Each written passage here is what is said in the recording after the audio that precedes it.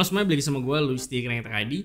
Jadi gue lagi kedatangan sebuah headset gaming wireless lagi, yang di mana gue cukup excited untuk bisa nge-share pengalaman gue setelah pakai headset ini. Dan headset ini adalah Razer Black Shark V2 Pro. Dan sebenarnya Razer Black Shark V2 itu ada tiga versi. Yang pertama adalah Razer Black Shark V2X yang paling rendah, yang harganya itu ada di satu jutaan. Lalu ada Black Shark V2 versi kabel dan USB itu harganya di satu setengah jutaan. Dan yang terakhir ada si Black Shark V2 Pro yang wireless ini dan harganya ada di 3 jutaan. Dan sebenarnya gue cukup kaget secara pribadi setelah denger harga headset ini karena bisa dibilang dari yang versi kabelnya itu berarti kita harus nambah sekitar dua kali lipat untuk dapetin si versi uh, wirelessnya ini. Dan kita bahas aja apakah nambah dua kali lipat dari versi kabel ini worth it. Nah sebenarnya gue udah pakai Razer Black Shark V2 versi yang kabel itu udah kurang lebih sekitar 3 sampai 4 bulanan dan selama 3 sampai 4 bulanan ini bisa dibilang gue cukup puas dari segi sound quality dan juga dari segi comfortnya dan bahkan si Razer Black Shark V2 uh, versi kabel ini masuk ke list rotasi headset kalau misalkan gue lagi pengen pakai headset gaming dan ya langsung aja gue bahas kira-kira apakah si Razer Shark V2 Pro versi kabel ini cukup bagus atau enggak. Oke, jadi memang Razer Blazer ini dari dulu sepertinya mengambil referensi desain dari headset-headset yang biasanya dipakai sama pilot. Cuman di versi yang kedua ini dibikin lebih simple dan minimalis dibandingkan dengan versi yang pertamanya. Hinge-nya sekarang dibikin lebih tipis dan sekarang warnanya full hitam semua dan bikin si Blazer V2 Pro ini warnanya jadi full black. Dan gue pribadi sih sangat suka banget sama colorway yang ada di headset ini. Karena sepertinya masih cukup jarang ada headset yang warnanya itu full black semua kayak gini. Karena biasanya kalau di headset-headset gaming itu biasanya ada warna identik dari si brandnya. Contohnya kayak Razer biasanya ada warna hijaunya, terus ada HyperX biasanya ada warna merahnya. Nah cuman kalau si Razer Black Shark V2 Pro ini dia colorway-nya bener-bener full hitam semua dan bikin headsetnya ini kelihatan misterius aja dan gue pribadi sih sangat suka. Selain itu hinge yang menyambungkan antara bagian earcup dan juga headbandnya cuman disambung sama kayak semacam dua besi yang tipis dan ya kalian bisa lihat sendiri kalau misalkan uh, hinge-nya ini kelihatan sangat tipis dan gue sih pribadi agak khawatir aja sama uh, build quality-nya. Karena dengan besi yang disambungkan seperti ini uh, kayaknya build quality-nya kurang begitu. Oke dan gue agak khawatir kalau misalkan headset ini bisa tiba-tiba jatuh atau misalkan nggak sengaja keduduk mungkin ini bakal gampang banget yang namanya bengkok atau mungkin bahkan patah gitu. Jadi gue sebenarnya agak khawatir aja sama di bagian hinge ini. Cuman kalau misalkan kalian makainya dengan bener ya harusnya headset ini uh, dari segi build quality ini nggak ada masalah seharusnya. Buat comfortnya sih di sini gue cukup kagum karena ini sangat jauh lebih nyaman kalau dibandingkan sama headset Razer yang sebelumnya. Contohnya kayak Razer Nari atau Kraken yang dulu sempat gue review juga. Dan bahkan clampingnya udah bisa disandingkan dengan Cooler Master MH752 yang sebelumnya udah pernah gue review dan sering gue pakai. Karena uh, dia itu clampingnya meskipun masih berasa di kepala tapi dia hampir nggak kerasa sama sekali gitu. Jadi ini dari segi comfort dia udah sangat nyaman banget clampingnya dan dipakai untuk jangka waktu yang panjang atau berjam-jam ini nggak masalah sama sekali menurut kepala gue yang ukurannya cukup besar. Lalu untuk bahan padnya dia dari bahan fabric yang cukup halus di kulit dan surprisingly isolasinya bagus dan bisa ngesil secara menyeluruh ke bagian sekitar telinga kita. Jadi sepertinya gue cukup paham desain hinge yang tipis kayak gini sepertinya supaya si clampingnya itu nggak begitu berasa dan nggak bikin sakit waktu lagi dipakai juga. Jadi untuk segi comfort gue bisa bilang kalau misalkan headset ini cukup nyaman dan gue nggak ada isu sama sekali. Lalu untuk button dan juga port semuanya ada di bagian cup sebelah kiri. Dia untuk buttonnya ada power button dan juga mute button. Lalu ada port mic, lalu ada port jack 3.5 kalau misalkan kalian mau pakai di mode kabel. Lalu ada port micro USB untuk charging. Lalu yang terakhir ada volume knob juga yang putarannya itu sangat smooth dan bagusnya di sini ada tactile bump waktu volumenya itu nyentuh ke angka 50%. Jadi ya at least kalian bisa tahu ini volumenya udah semana. Untuk koneksinya di sini menggunakan koneksi Razer Hyperspeed Wireless 2,4 GHz yang tentunya menggunakan dongle yang kalian bisa koneksikan ke PC ataupun laptop kalian. Kalian bisa connect ke smartphone juga, tapi sayangnya cuma bisa dengan kabel aja dengan jack 3.5 karena kita nggak dapat konektor OTG USB A to C Lalu di paket pembeliannya kita ada dapat kabel C2A untuk charging dan ada port juga untuk nyimpan headset ini. Nah untuk koneksi wirelessnya karena dia udah menggunakan koneksi 2,4 GHz, jadi untuk masalah delay dia udah nggak berasa lagi di game-game kayak CODMW, Rainbow Six, Dota 2 dan sebagainya. Untuk isu kayak disconnecting gue juga so far belum nemu sama sekali. Dan untuk jangkauan wirelessnya dia kurang lebih sama kayak Cooler Master MH670 yang kemarin sempat gue review. Yang di mana dia selama di satu ruangan yang tertutup atau di kamar gitu ya itu nggak masalah sama sekali. Kecuali kalau kalian keluar ruangannya terus kalian tutup pintunya terus kalian jalan kurang lebih sekitar 4 sampai 6 meter ke depan dia baru baru mulai disconnecting.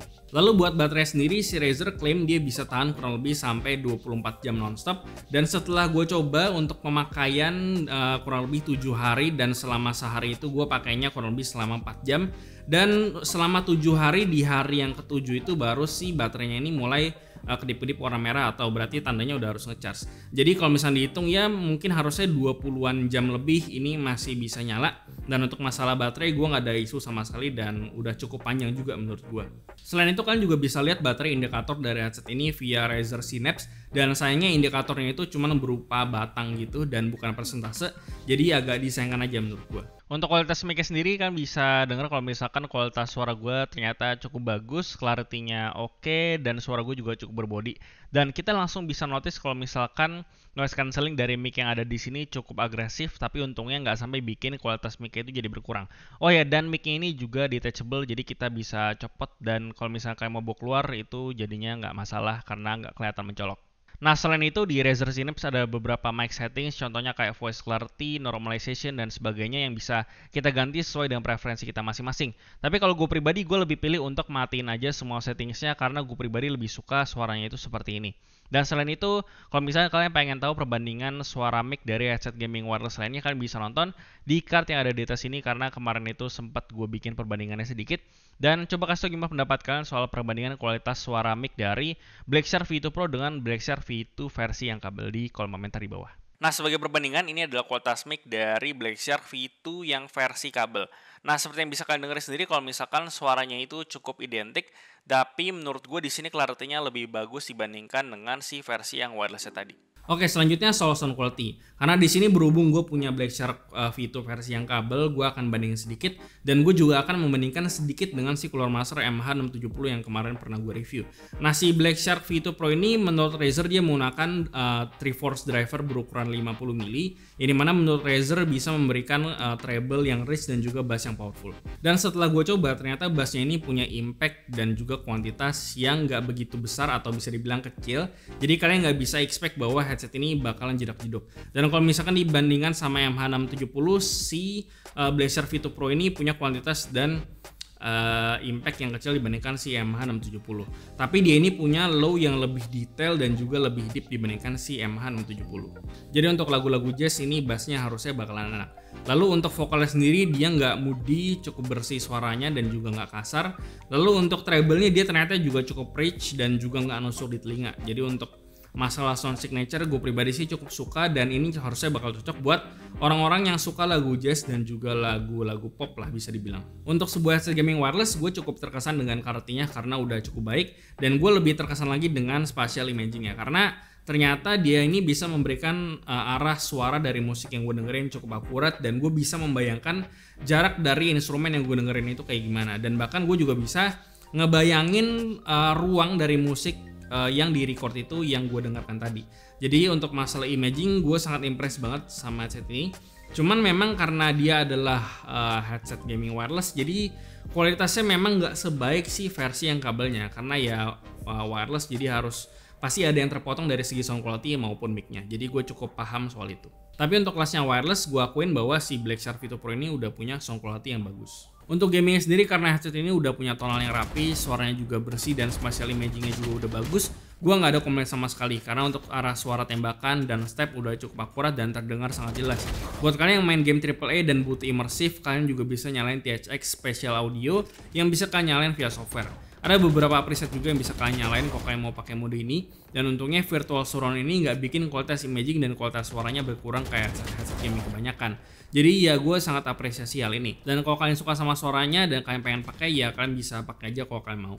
Oke, jadi untuk kesimpulannya, apakah Black Shark V2 Pro ini worth it di harga 3 juta? Karena kita berarti harus menambah harga satu setengah juta atau bahkan dua kali lipatnya dari si versi kabelnya ini.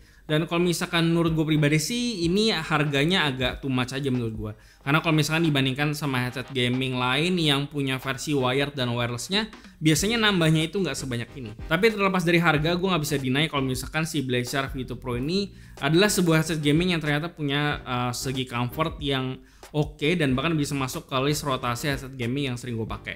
Dan untuk kualitas mic dia cukup decent dan buat sound quality-nya bahkan gue cukup impress karena ternyata Razer bisa bikin yang seperti ini.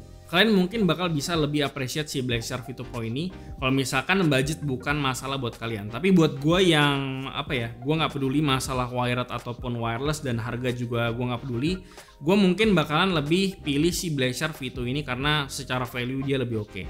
Dan ya so far sih Razer makin di sini ya, kualitasnya menurut gue semakin bertambah karena ini adalah uh, salah satu uh, produk dari Razer yang menurut gue gue bisa appreciate dan cukup improve jauh dari versi yang sebelumnya. Dan kemarin udah ada Viper, Viper Mini, terus kemarin ada Dead Adder V2 juga dan juga Basilis V2 yang kemarin sempat gue bahas. Dan so far ya di tahun ini dan tahun sebelumnya memang Razer sudah sangat jauh juga improve-nya dan gue harap ke depannya bakalan tetap seperti ini. Oke, jadi gue rasa itu aja yang bisa gue bahas soal Razer Blazer V2 Pro ini. Seperti biasa kasih gimana pendapat kalian di komentar di bawah. Like dan share jika bermanfaat. Lalu follow semua sosial media kami di Facebook dan juga Instagram. Lalu join komunitas kami juga di Discord dan juga di open chat. Semua linknya ada di deskripsi. Yang terakhir jangan lupa untuk subscribe. Gue dari Krenget Sampai jumpa di video berikutnya.